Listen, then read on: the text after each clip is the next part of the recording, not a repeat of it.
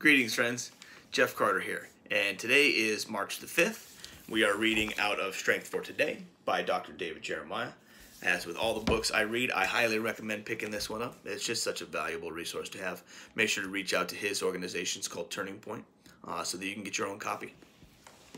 So we're going to go ahead and jump right in. I'll, let me first off say thanks for watching and thank you for subscribing. Make sure to punch that like button down there uh, so that we can continue to share these videos all over the world. March the 5th is titled The Divine Creator. In the book of Romans, chapter 1, verse 20, in the New International Version, it says, For since the creation of the world, God's invisible qualities, his eternal power and divine nature, have been clearly seen, being understood from what has been made. In his book, Foresight, which is endorsed by three Nobel Prize winners, chemist Marcos Eberlin wrote about the complexity of a single cell in the human body. He said, if you were to bid this demanding, multifaceted job, the designing of a human cell, out to the most technologically advanced engineering firms in the world, their top engineers might either laugh in your face or run screaming into the night.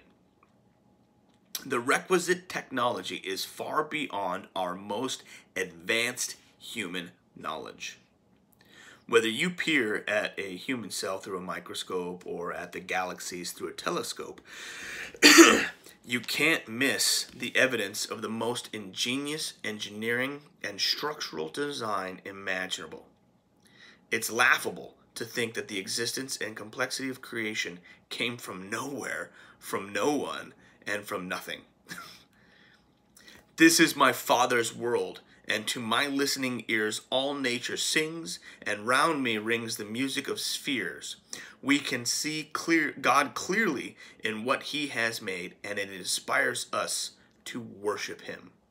Again, that's a quote from uh, Marcos Eberlin's book, Foresight, How the Chemistry of Life Reveals Planning and Purpose. Friends, the existence of God has been proven now twice, once through science and one through, through mathematics. Uh, the brilliant mind, Albert Einstein, proved that God is real using mathematics. He said, um, and I'm paraphrasing big time, I don't know his exact quote, but he said that the chances of all of creation coming through evolution, through a big bang, the chances of that are 1 in what's called 10 to the 26th power, which means it's one chance in, and there's not even a word for how big this number is, but it's 10 with an additional 26 zeros behind it. That's the odds of this all happening by chance, by everything lining up so perfectly that that this just sort of comes together through evolution. It's nonsense.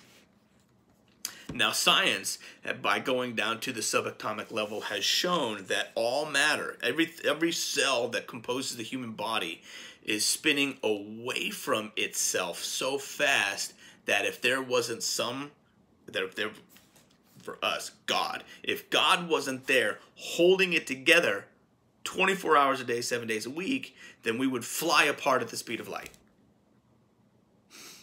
Evolution. What a joke. Friends, again, thank you for watching. Thank you for subscribing. Uh, thank you for punching that like button down there.